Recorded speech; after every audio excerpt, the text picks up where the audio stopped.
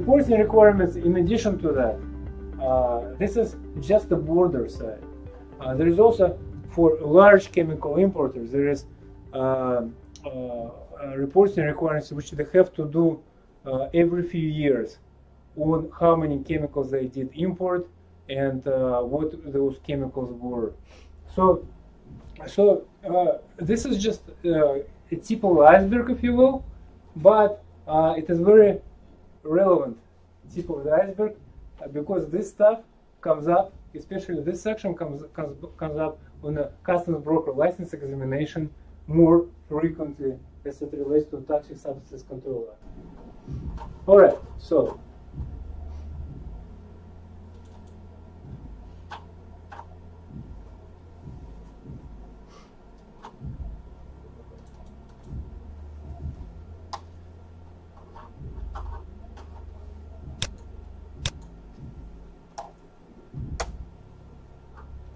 So this is a government website, and uh, it kind of it's kind of like a tracker of what's going on in the world of toxic substances control, uh, what happens, and as you can see, there has been some new developments. On June 22, 2016, President Obama signed this new law, uh, Chemical Safety of 21st Century. Act and it, it, it, made some changes to the Toxic Substances controller. Um, uh, interestingly, and uh, if you uh, can go to this uh, summary information and read summary provisions, again, you have to look through the text, which is kind of boring, unless you uh, get excited by, by chemicals. But it's pretty dry stuff, right? And, and, and uh, in summary, pretty much Congress has recognized that uh, EPA as an agency is underfunded. So uh, it went on to provide some funds so it can conduct and uh, conduct evaluations and so it can review chemicals. It also introduced the standards under which chemicals are, are reviewed, the methodology, if you will, uh, where interests of the um, just regular folks must be taken into the consideration, not just the, not just the interest of the big industry itself. Uh, and so uh, the risk-based based, based safety standards, evaluations, how they must do it. They also it also required um, made certain rules for the new chemicals. Uh, source of sustained funding, 25 million annually in user fees. Uh, again, it shifted the burden uh, to the chemical manufacturers, to the to the to the big guys, right? Uh, but also notice that um, chemical manufacturer may be a small company too. Uh, it just increased this act just raised the entry fee, entry cost into this market of chemical production. So um, who will benefit at the end? We shall see. Uh, but uh, the point is, is that this stuff is still work in progress, changes are ongoing.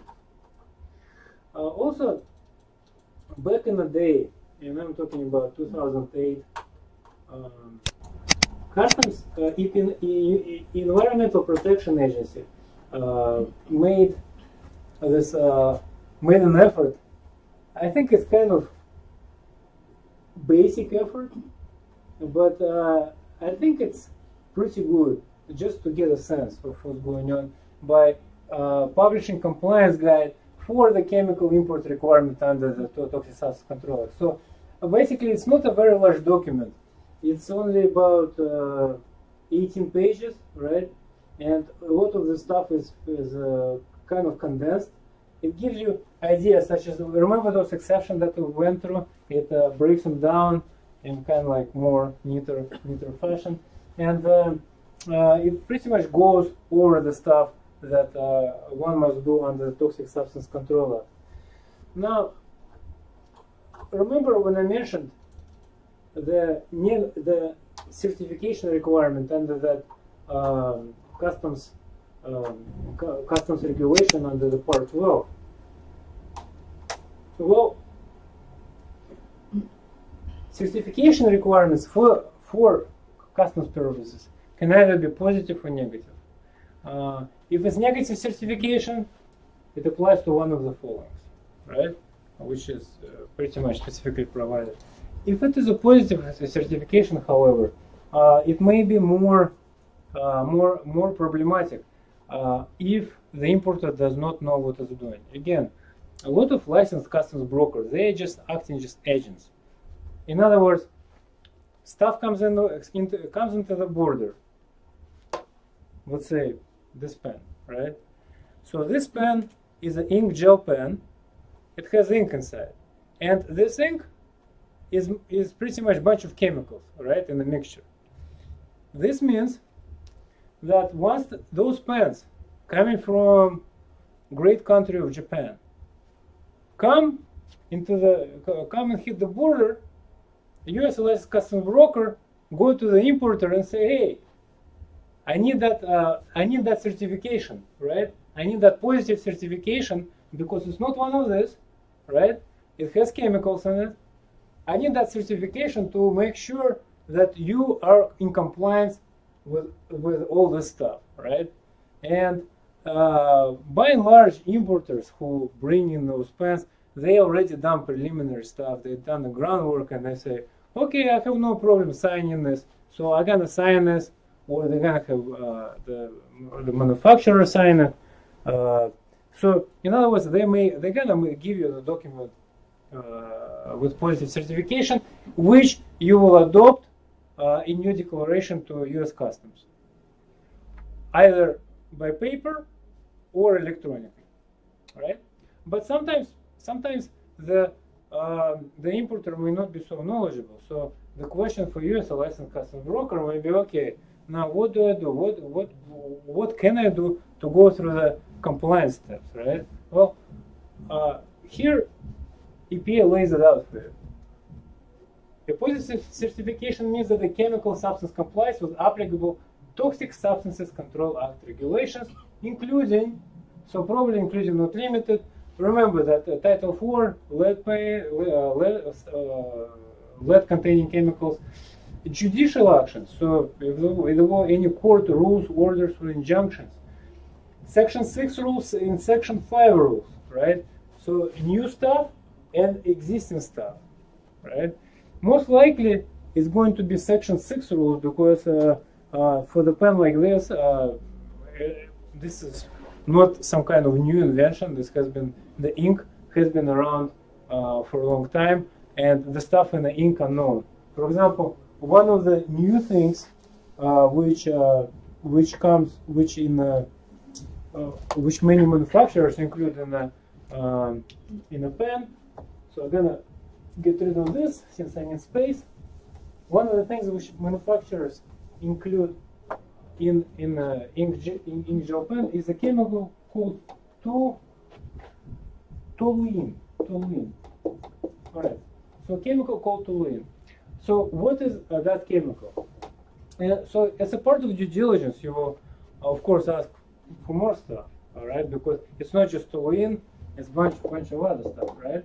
So, but uh, every uh, every uh, molecular formation, you need to kind of inquire and see if it's in good standing, because every chemical uh, compound is subject to review. So, in a way of toluene, what what toxic substance, uh, what EPA has done as an agency, is they create the registry list. And this, this registry list um, can include confidential, confidential information, but for uh, great majority of stuff, it is available uh, free to the public. It has been available for quite some time. Uh, and for example,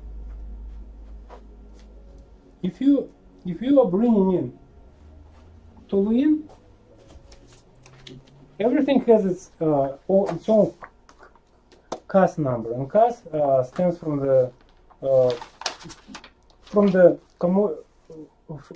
from the um, not non-government body.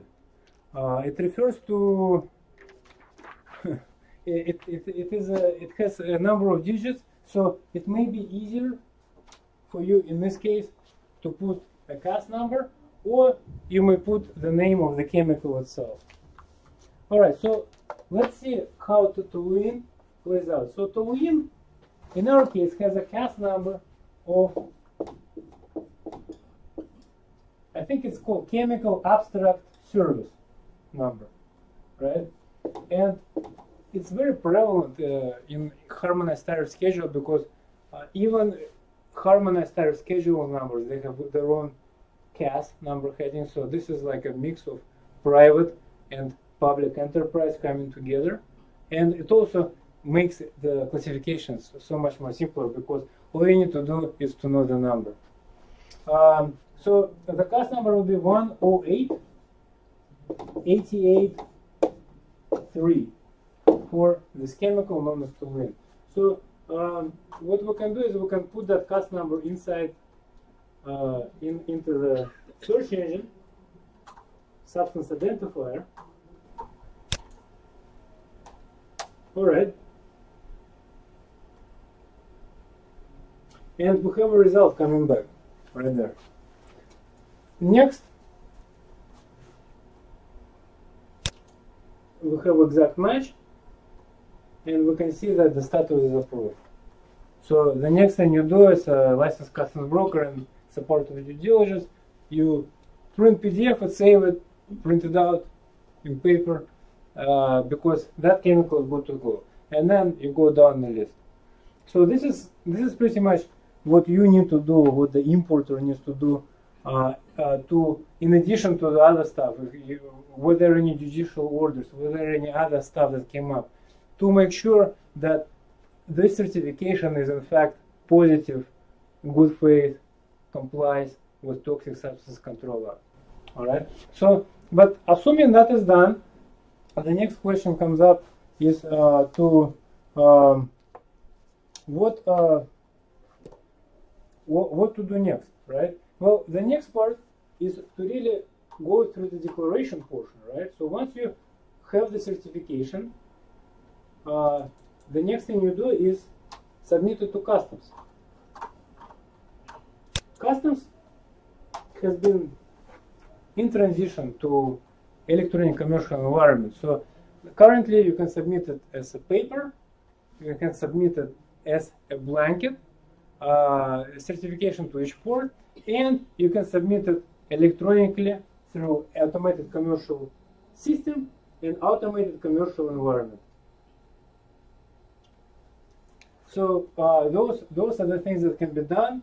Uh, there may be limitations, but pretty much those are the codes TSCA Toxic Substance Control Act minus Toxic Substance Control Act plus you put it in the system and uh, you comply with your declaration. Next, of course, that's that's just basic. You will have to put uh, other fields required, uh, but if you're doing it for the for, for each entry, it will be associated. So you the customs will know who, who the manufacturer is, who the importer of record is, associated with this declaration. Yes.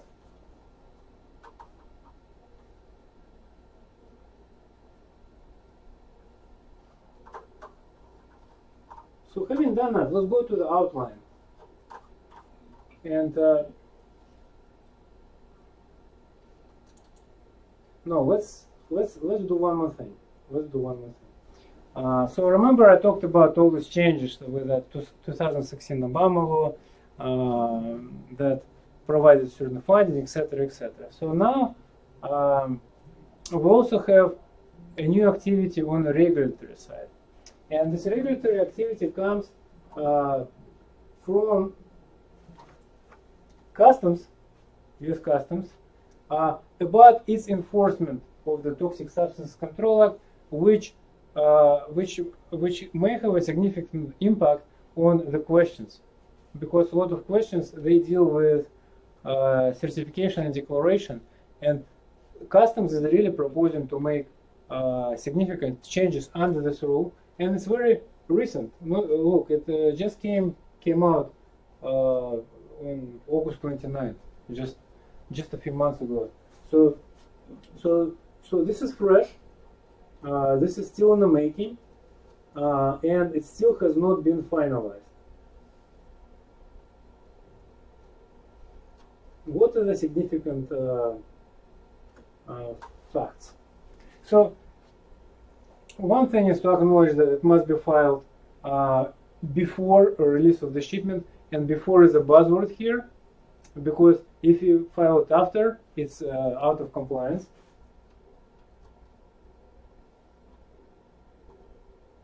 And here, here's just to pin, pin down what I said earlier, the regulations currently include requirements of chemical substances regardless of whether the substance is subject to Toxic Substance Control Act. The regulations they're talking about that uh, section 12, uh, that, that part 12 regulations that I mentioned in, uh, uh in the Federal Register, I'm talking about this stuff.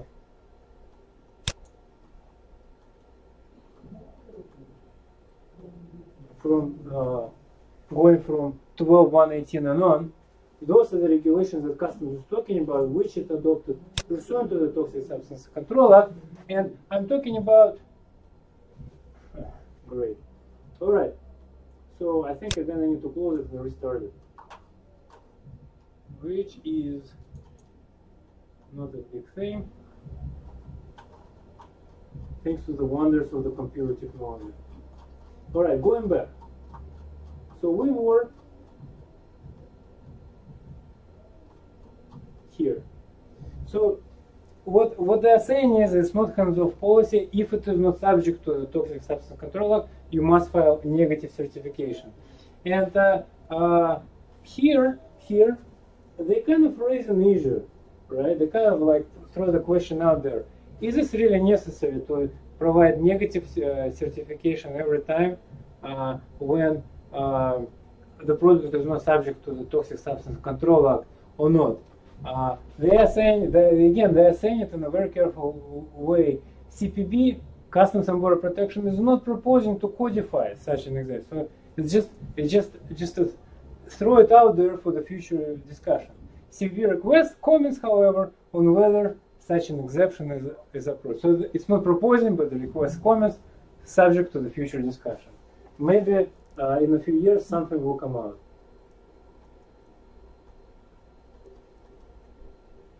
Okay. Uh,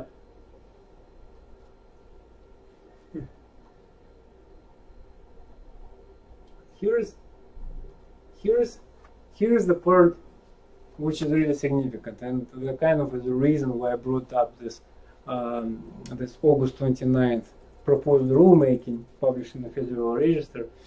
Um, customs would like to, there is two, two types of certification basically. There is one which is pure entry, so one entry, one certification, and then there is another which is blanket. And if it's a blanket certification, it uh, what, what, it uh, means is it's a piece of paper which you file with a port, and it goes with each port, where you release certain information. And then once the merchandise hits the entry, you incorporate, you do not certify every time, but you kind of incorporate by reference saying, okay, this uh, this, informa this uh, uh, information is on file with the port director, etc., etc. So the customs is proposing to eliminate that practice, which is kind of interesting because a lot of questions, if you look at the hist historical history of the customs broker exam questions, they a lot of them, uh, heavy lot of them deal with that blanket certification thing. So, uh, you know, in other words, if they eliminate this, a lot of historical questions which are on the record will become irrelevant. So, how they, how do customs justify this? It is, they say it is more burdensome than the current entry-specific certification process because it requires filers to report a statement referring to blanket certification and incorporating it by reference for each entry. So, in other words, it's a duplication of work. Since they have to go through this incorporation process, why don't you just declare it every time and make everyone's life easier? So, is it going to happen or not? It's too early to tell, but it's uh, cooking in the books right now. Right, now, now go to the house.